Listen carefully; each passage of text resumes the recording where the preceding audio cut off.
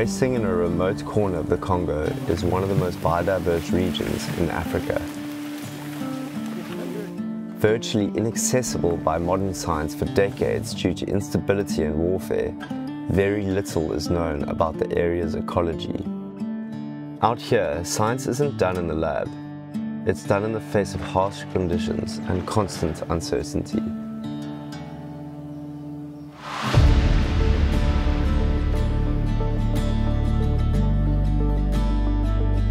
Flying into the DRC, I find myself feeling extremely nervous. I'm leaving everything behind and entering an area fraught with conflict. For the next two weeks, this forgotten landscape will be my home.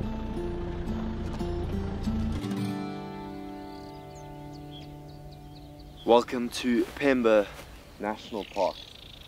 We are literally just travelled here from Lubumbashi and I'm joining Chris Boys and the Hankuzi expedition to head out into this wilderness and explore this ecosystem but also just get the baseline study of what scientific data exists out here.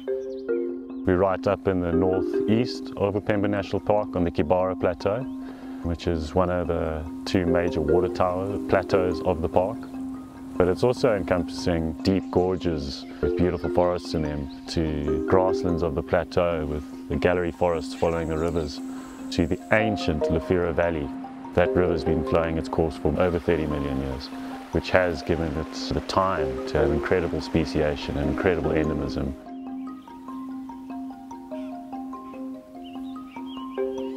These incredible endemic species can be extremely affected you know, because they're very isolated. So, you know, once their environment changes around them, they will disappear and be lost forever. The mission now is just to really understand where this landscape is and where it is going and how we can possibly steer it into a place where it's, you know, ecologically stable. I'm accompanying the team of 11 scientists as they conduct a series of rigorous scientific surveys throughout the park. As Upemba has been off limits to researchers for years, every bit of data brings us closer to understanding the ecosystem. My tent. Team. Legends. For me, being here is so amazing because it's Democratic Republic of Congo. It's got some of the highest biodiversity of reptiles and frogs on the planet. So being here, it's like it's like being an actor and going to Hollywood. We have a, a mixed team. So we have two English native English speakers, we've got two native French slash Swahili speakers.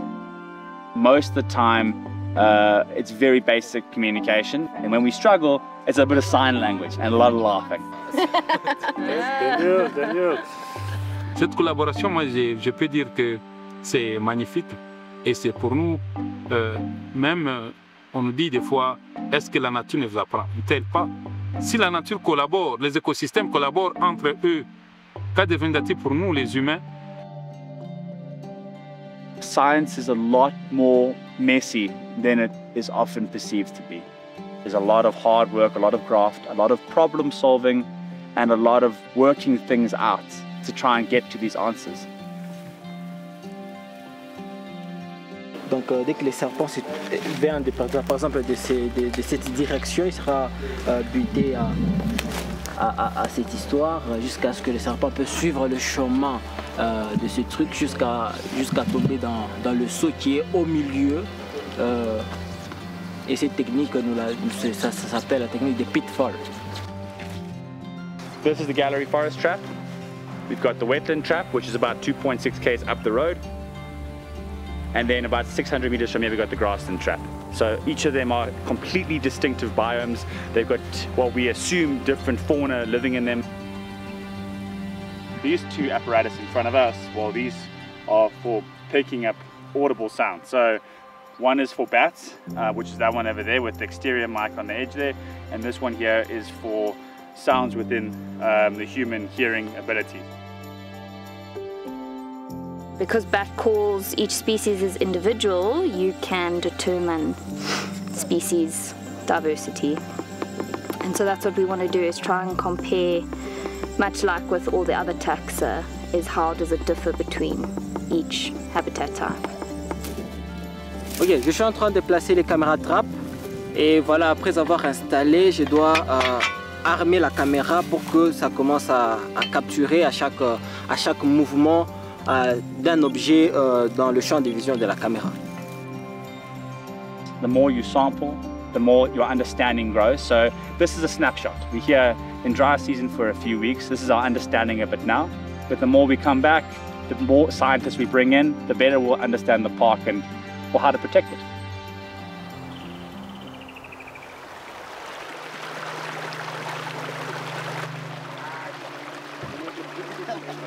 We are here to study the biodiversity in these rivers, the fish and so on, so that they can know what is in the rivers and probably set some uh, uh, strategy to, to preserve these fishes.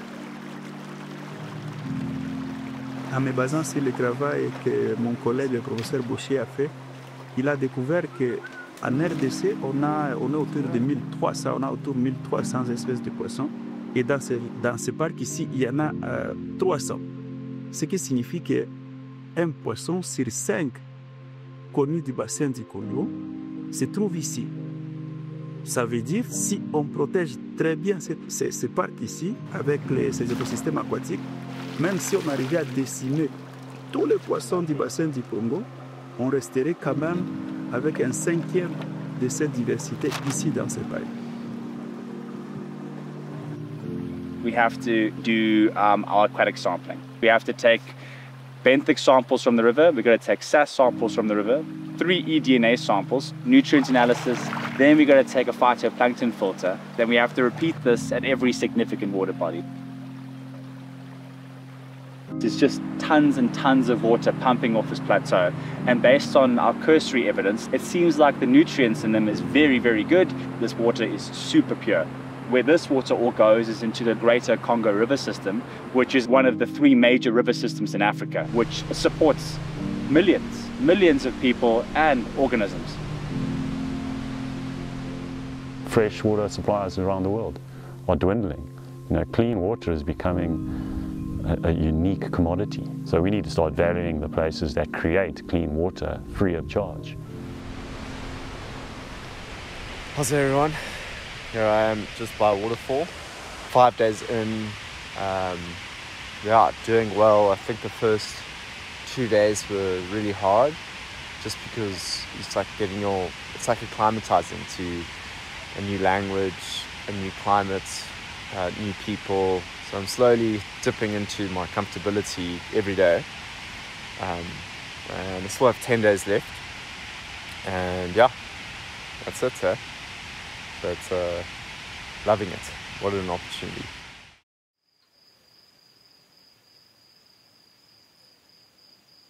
C'est très capital comme concevoir ses pattes, c'est aussi, moi pour moi, c'est un sacrifice.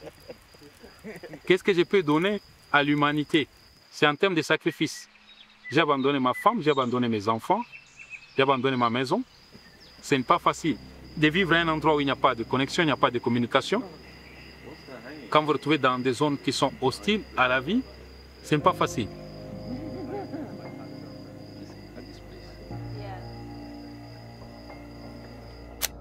The rise of civil conflict and demand for Congo's precious natural resources has made Upemba an extremely dangerous area. Over two thirds of the park has been lost to Mai Mai militia groups for decades.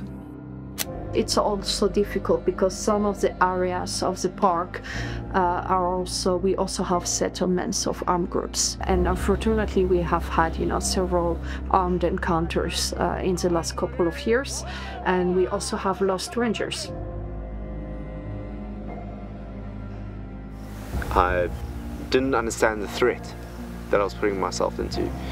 You know, you can, in your head, understand the threat, but in your body, you, you start feeling the threat a little bit differently. You know, you come here, next thing you know, you're, you know, you 30 k's away from base camp with no Wi-Fi, no signal, and AK-47s everywhere.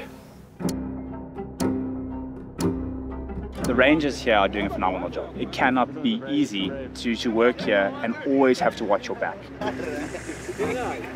Their lives are in danger. They put in their lives in more danger for us just to be here.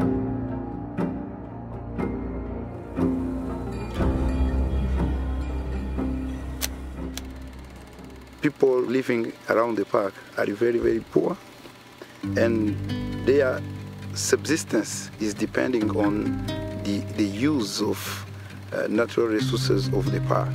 Sometimes rangers are facing uh, people in the park for the poaching, for uh, timber, for mineral activity sometimes.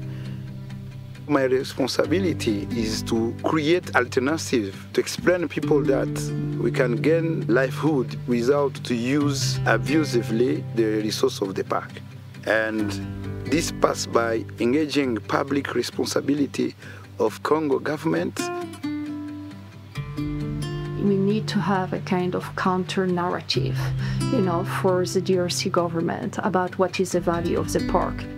So we want to be able to show that, you know, protecting Upemba is not only protecting wildlife, it's also protecting ecosystem services that are crucial, you know, for the development of all the region and also of the country.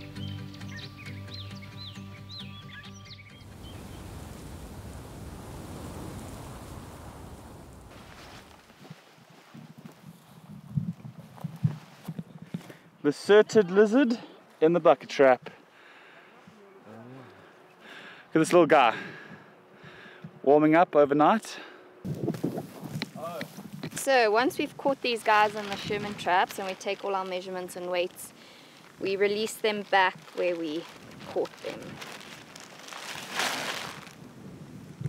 If the same individual gets caught more than once, we know that it's a recapture. Oh, hello. He's going to be cool. I'm calling him tiramisu.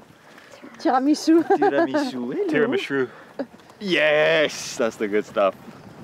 So we, we just got this snake. It's an awesome species. The first time I've ever seen this. So this is a Psammophis whip snake. This is a great sample, especially from a phylogenetic point of view, to put in and see where this thing sits because I'm pretty sure that there's a lot of new things still to find in Africa and this might be a nice piece in the puzzle. This one here is a house snake. Oh, now he's getting cross. You see, he's like, don't do that to me.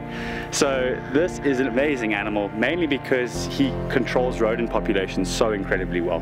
So if it wasn't for snakes like this, uh, we would have a lot more rodents than we should have.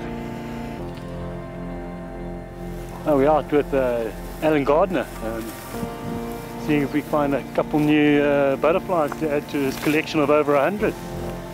It's my first time uh, with the butterfly net, so it's a nice experience.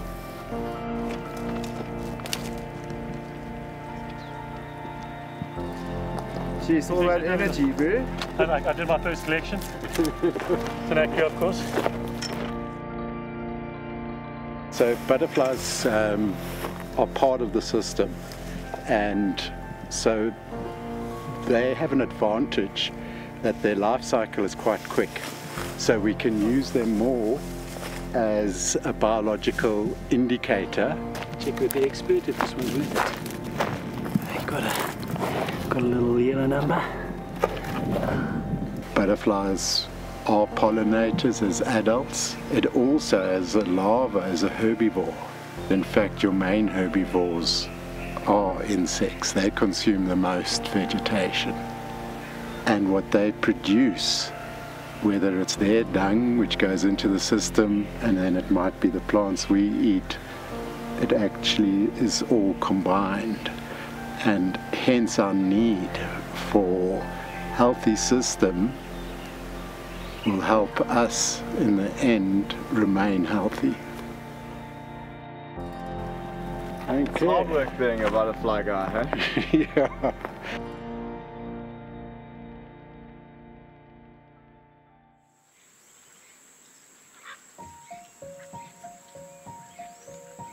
In Upemba, I've learned that it's the smallest creatures, reptiles, insects, and other often overlooked species that quietly shape and sustain the ecosystem.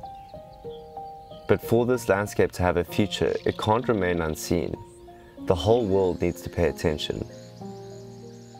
You know, on this planet, um, everything has to have an economic value.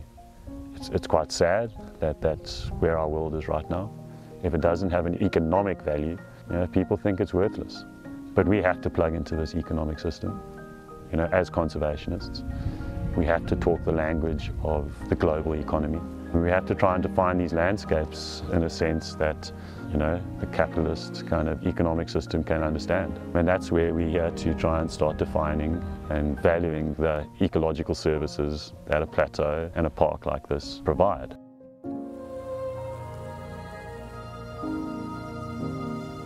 My hope for this landscape would be for it to persist.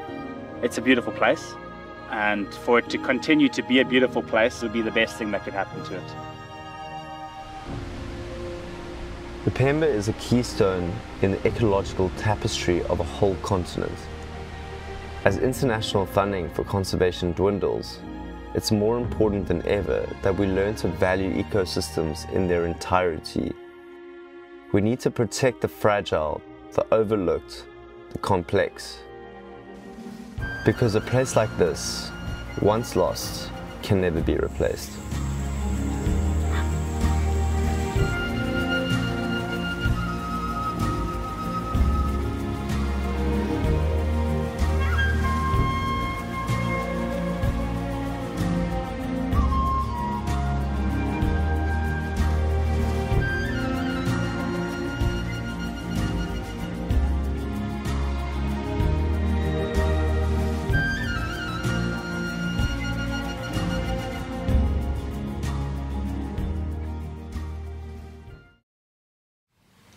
Thank you so much for watching this film. This is just the beginning. And in order for us to get out there and tell more stories around science, ecology and spirituality, we need your help. So please consider joining our Patreon page.